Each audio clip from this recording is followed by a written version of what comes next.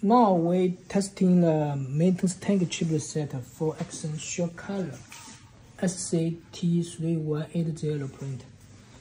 All these printer, uh, the maintenance tank number is the same, so the chip reset is also same for all this model SureColor series.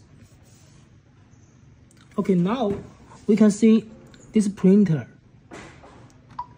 The maintenance tank ink level is a little down now we can reset it.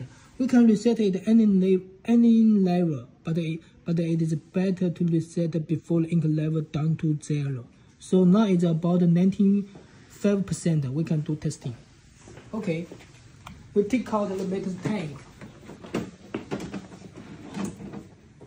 And we do the, the resetting.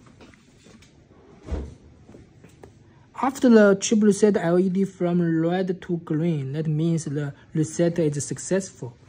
After reset the uh, mason tank chip, we cannot install it. If you install it directly, the ink level is, is no change. So we need to prepare another chip. We named this chip is setup chip. Okay, now we take out the original chip and we install our setup chip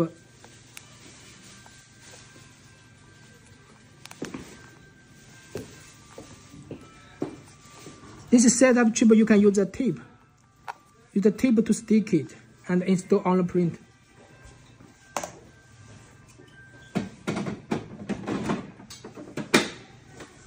Now, the setup chip ink level is 4. This is the setup chip. Okay, now we take out the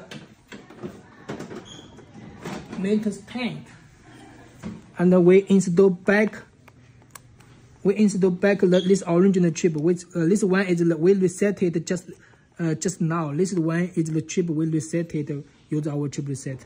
Okay, now we install back.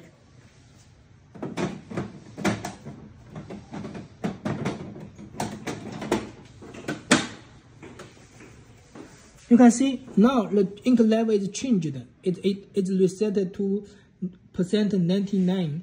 We cannot reset it to 100% but we just reset it to 99. So this means the reset is successful. Thank you.